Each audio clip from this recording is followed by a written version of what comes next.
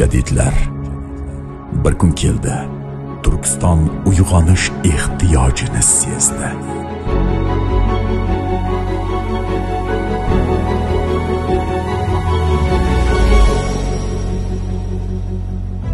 Bugungi konferensiyaning bosh maqsadi turkistonlik jadidlar behbudiy munavvar qori fitrat avloniy cho'lpon qodiriy ibrat kabilarning g'oyalarini o'rganish ularni tahlil qilish va amaliyotga joriy qilishdir.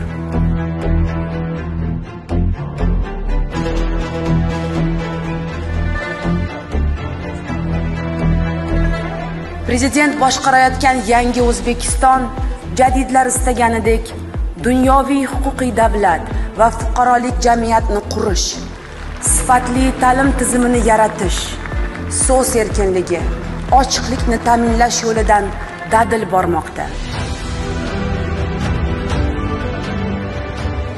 Abdulla avloniy har bir millatning dunyoda borligini ko'rsatadigan oynai hayoti til va adabiyotidir. Milliy tilni yo'qotmoq millatning ruhini yo'qotmoqdir degan edi.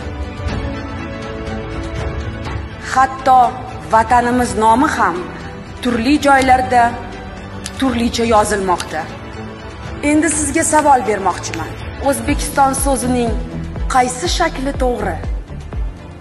Gap vatan va millat nomini to'g'ri yozish haqida ketar ekan. Alifbodagi ayrim o'zgarishlarni joriy etishimiz va shu bilan alifbo masalasiga qat'iy nuqta qo'yishimiz zarur deb hisoblayman.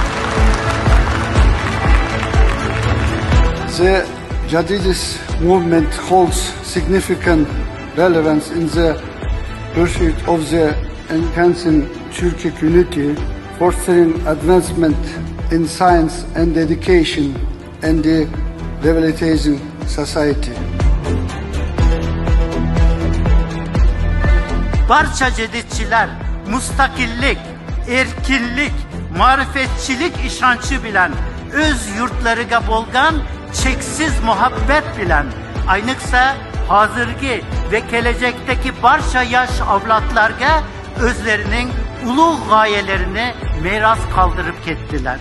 Durma, yugur, dinme, tırış, bükülme, yüksel, birleş.